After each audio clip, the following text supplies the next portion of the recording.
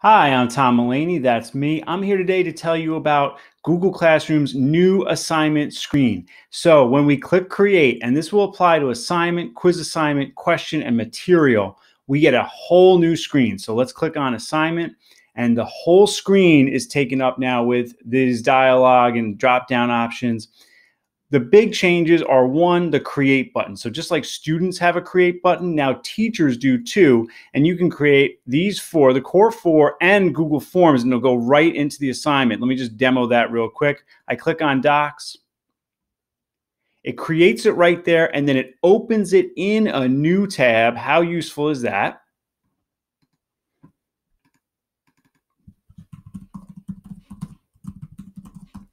And then whenever I'm ready, I then just go back into the assignment. And here I can set it to students can view, students can edit, and make a copy for each student.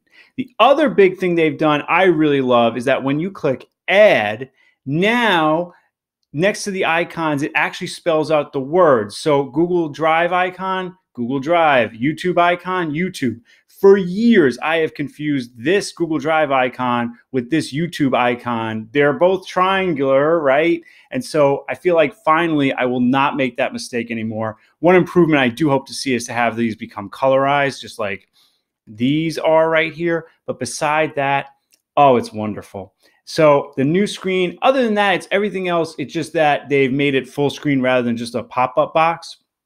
Really like what I'm seeing here. If you have any questions about this, please comment below or tweet me at Tom E. Mullaney.